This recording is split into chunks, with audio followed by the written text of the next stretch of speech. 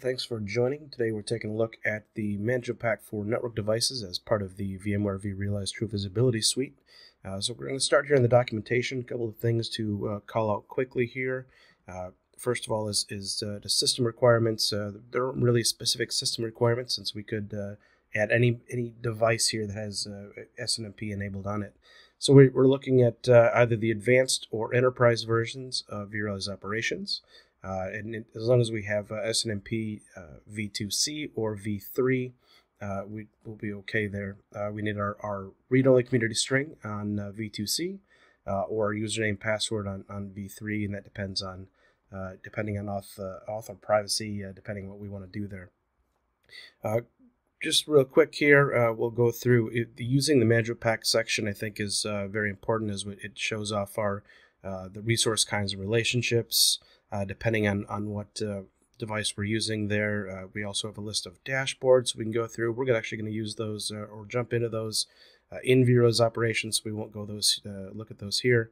we can also look at the views, reports, alerts, and metrics that are coming out there. So let's go ahead and jump in real quick. Once we have the management pack installed, we can go to add account, find our networking devices management pack, uh, once we've uh, got here, we can then in- input our, uh, name or description, uh, the management IP. Of course, we can also uh, input a comma separated list here uh, of either IP addresses or host names of the devices we actually want to collect. and then we input our credential. Again, if we wanted to use our S- SNMP v2c, we just need our, our enter a name and then the community string. if we wanted to go with v3, well, we can we can use no auth, no priv. Uh, and then we just get uh, the uh, user or all the way up. and then we can input our auth password, our auth type. so we can choose our auth type there or our privacy type as well and password. So we can go either way.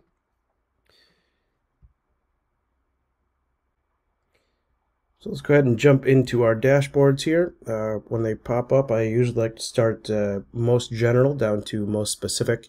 Uh, so I usually start at the uh, overview section. Here we are. Uh, so we, are going to show here uh, heat maps on, on health of all of our various pieces we've added in here. we do have a, a few different uh, devices we've added in. So a lot of these are going to be uh, Cisco switches. Uh, of course, we can use our Cisco networking management pack as well. Uh, but we also do added in uh, some Lenovo switches, I believe some uh, Dell switches as well. so we can see the total health of all of our devices. we can look at our uptime, how long each of these devices have been up. we can then also look through at our capacities. So we're looking through at, or throughput, I'm sorry. so we're looking at, at throughput, uh, we can look at uh, all of that for each of our uh, various uh, devices here. From there, I usually like to jump into then uh, the health investigation dashboards. Uh, this is going to show that kind of, we call it the Skittles view. So we're going to see all of our devices we've added. We've got 10 devices added. we've got all of our different interfaces that go along. we can then connect them to each of our host system or virtual machines, depending on relationships we have going through there. Uh, so we choose a, particular device, we can see those the device here, as well as if it's connected to any other uh, devices we have. So we picked one of our uh, Cisco switches. This is an MDS 9000. Uh, but uh, now we can see all of the devices then that are also related, as well as the host system and, and uh, that, that's connected to this MDS. And if we there was any alerts for this particular device, we'd see those here, as well as we can see the health of each of those as we go through. Uh, from here, we can go ahead and look at uh, directly at that uh, alert dashboard. Looks like there weren't any alerts uh, on that particular uh, device, uh, but if we pick here, we've got something on a different Cisco switch. We can see if we choose that that particular alert, we can see we've got a throughput alert there. And so we can see all of the different ports here. If we look on our uh, relationship. Uh, we can see all the different the uh, interfaces here. We can also see a couple different switches that might be uh, also connected here to this uh, particular switch we're looking at. Uh, there's that 9000 we looked at earlier. Uh, if we wanted to, we can always go and, and say, all right, what uh, what is this alert uh, about? What's going on with it? And we need to take a look at.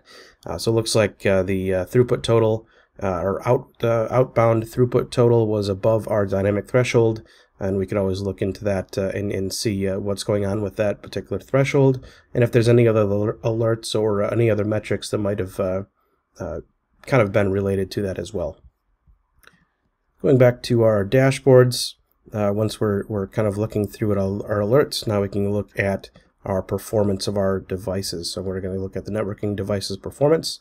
And again, we can see then if we look through uh, all of our various uh, switches we have, uh, we can uh, choose one of those if we'd like, look a little further, uh, and then we can see our top 10 lists as well. Uh, we can So we can see our by throughput capacity, our inbound or outbound. We're looking at that by packets as well, so we can see which of our switches we've got connected here is using uh, utilizing the most traffic or using the most traffic here. Uh, the last dashboard we want to look at then is just the uh, troubleshooting uh, section. So we can again select our device. Let's go ahead and maybe let's look at that, uh, Lenovo switch this time. So we can look at our uh, Lenovo and then again see all of our various interfaces that are there on that particular device and see so kind of a little bit around how it's, it's performing. Of course, if we wanted to uh, look any further into any of the metrics, we could always uh, search for this particular uh, device uh, and go directly to its uh, page from there to see what what's going on with it. So once we've searched for our Lenovo switch here, we, we've already got it searched, we can then look and see we've got our object plus the interfaces there. so we can go back and forth between the interfaces and the object itself. We get a little information here around the performance of that particular device. We could always go and, and search individual metrics as well, uh, either for this particular device. Uh, we could look at the properties of the device, or we could expand out and look at each of our interfaces as well, uh, choose an interface, and then we get the metrics on that particular interface rather than uh, just the device itself. So once we've added multiple management packs into our cluster, we can move from a view like this, looking at our VM, data store, and host, to something more like this, we can see that the same virtual machine is still the focal point, but off of the data store we can now see the 3PAR virtual volume and the common provisioning group it's a part of. We can see the SQL Server instance, we see the databases within that instance, all of the queries, the SQL jobs, and the wait types.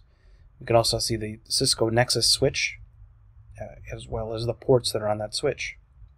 We can take a look at our F5 Big IP load balancer. We can look at our IIS web server, application pools, websites, applications, and virtual directories. On the left side of our virtual machine, we can see not only the host, but the Cisco UCS blade, the fabric interconnects, and even the chassis itself. Once we have dashboards that can help us with the relationships within our stack, we can start to build out some custom dashboards that can help out with troubleshooting or allow us to be more proactive in our approach.